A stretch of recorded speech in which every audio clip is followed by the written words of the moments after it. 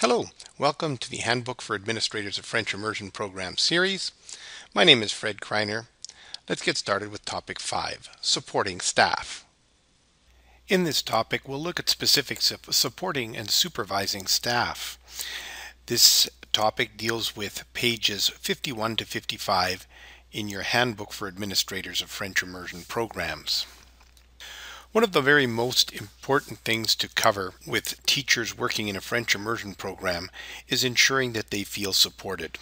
A couple simple ways to make this happen is to ensure that teachers have time for collaborative planning, built into the timetable preferably. It can happen in two different ways. Having French immersion or French language arts and English language arts teachers planning together can avoid having students receive duplicate instruction on certain concepts that are cross-curricular. It's also important that French immersion teachers amongst themselves feel that they have the ability to speak French as that is their language of work amongst each other without feeling that other teachers are put out by them speaking in the French language. What should you see when you visit a French immersion classroom? Well, first and foremost, it's very important that you see an environment where it is safe and welcoming where students' use of French is encouraged and students willingly participate in the French language. Normally you would see students working together, speaking French, as it is important for students to use class time to practice their oral French. There really is no other opportunity for the students to learn and practice their French than the time that they spend in the classroom. It is also important to note that French is used at all times with few exceptions within the class. The use of English should be restricted to the time allotted for teaching English language arts or if a student's emotional well-being or security is at risk. Teachers should be using gestures, mimes, props, and other body language and cues to enhance communication if students are only in the very formative stages of learning the French language. What is the ideal classroom context?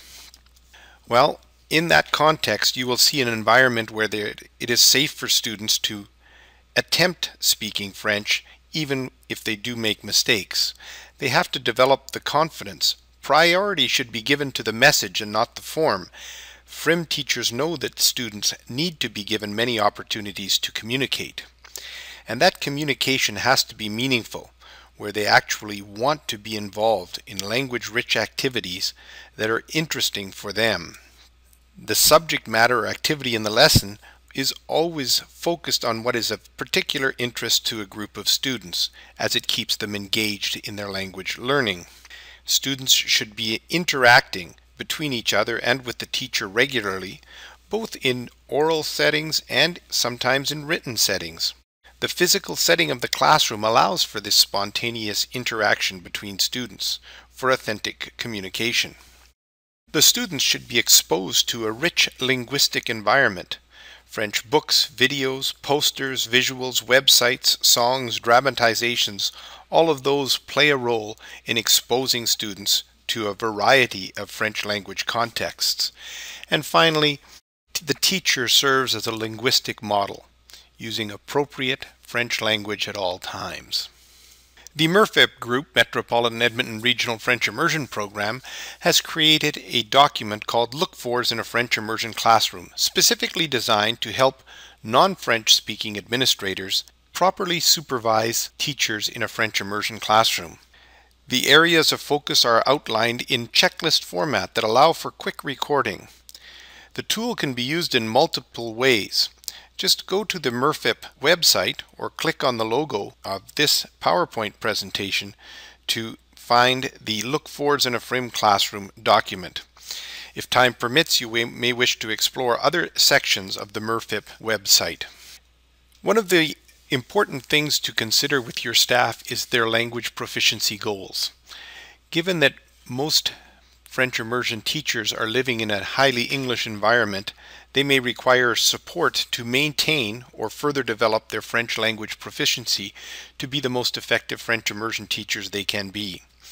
It is important that those teachers are aware of bursaries that will facilitate their learning of the French language in contexts which are more linguistically rich than the one of the French immersion classroom. Supervising and evaluating French immersion staff. As with your English staff, it is your responsibility to properly supervise French immersion teachers. If you have a sound knowledge of how the program works and what to watch for, every administrator, even those who speak little or no French, can effectively supervise French immersion teaching staff.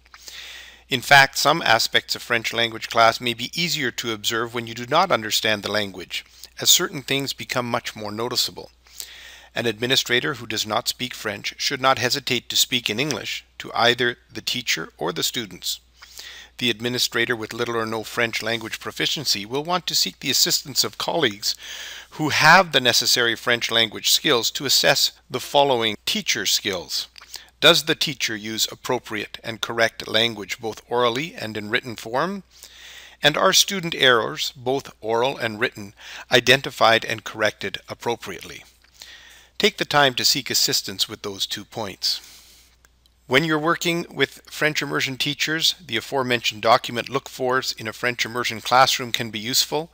A second document, Indicators of Good Teaching Practices in a FRIM Classroom, may also be useful. This document was developed by Lise May, a French immersion consultant with the Calgary Regional Consortium. As mentioned earlier, it is important that French immersion teachers continue to develop and maintain the French language skills that they have developed. This is not always easy in the context of a school if teachers are made to feel that using the French language is inappropriate within the school setting. It's important that all French immersion teachers use French as their language of communication between each other, as this is also a way of modeling for students how French can be used. Teaching strategies are also important and they are specific to French immersion programs. This is particularly important in the light of an increasing use of information and communication technologies in instruction in French immersion. Networking. Teachers need to network and learn from other French immersion teachers. It's important that they be given the opportunity to do so encourage them to attend French immersion conferences, professional development sessions that may be offered by the Association Canadienne des Professeurs d'Immersion, or Canadian Association of Immersion Teachers, or Le Conseil Français, or the regional consortium that offer professional development activities in French. It might also be a good idea to have the school subscribe to certain French language periodicals particularly the Journal d'Immersion that is published by the Canadian Association for Immersion Teachers. There are other places where French immersion staff can receive support. Here is a suggestion. The Association Canadienne des Professeurs d'Immersion is a national organization specifically for French immersion teachers, the Canadian Association of Second Language Teachers, Second Language Education Center, and the University of Ontario OISE's Institute for Studies in Education. More resources are available in topic 8 of this series, Resources. This presentation covers supporting and supervising staff. For further information, don't forget to look in your French Handbook for French Immersion Administrators 2010, specifically pages 51 to 55. This is presentation 5 in a series of 8 presentations that result from the collaboration between the Alberta Regional Professional Development Consortia, the Alberta Teachers Association, and Le Conseil Français of the Alberta Teachers Association. It was made possible by the French grants from Alberta Education.